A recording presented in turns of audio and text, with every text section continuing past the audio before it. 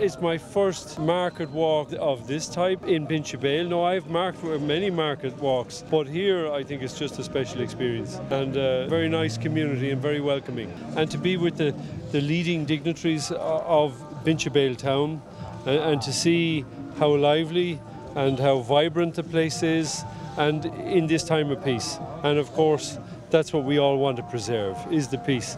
So that a town like this which is uh, such a, a great history and we heard about the history in the library and with with all the different professors who I think it is a special town.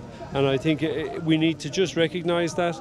And I think for me today it's really great to be here they've been so generous to me I feel embarrassed going away with so many gifts but it's it's a really special experience it's good, it's good that they're here yeah. Irish Patrol, huh? Yeah, yeah, yeah. What you get? What you get?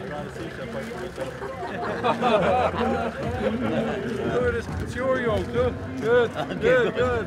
بهمنا انه نعيش بسلام وامن واكيد هذه من ضروريات ومهمه قوات اليونيفيل يلي جاية تحت لواء القرار 1701 هذا المكان بالذات تعرض بالسابق لاعتداءات إسرائيلية عدة.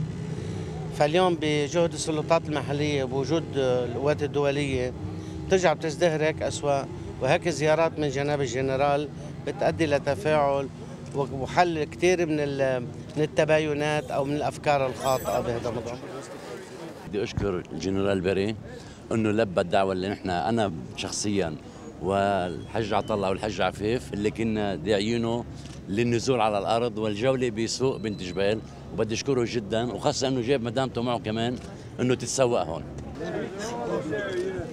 كثير انبسطنا في وفاجأنا صراحة إنه قليل ما بينزلوا ناس اللي فوق ما بيتنازلوا على السوق. الحمد لله حبيناه حبيناه منه.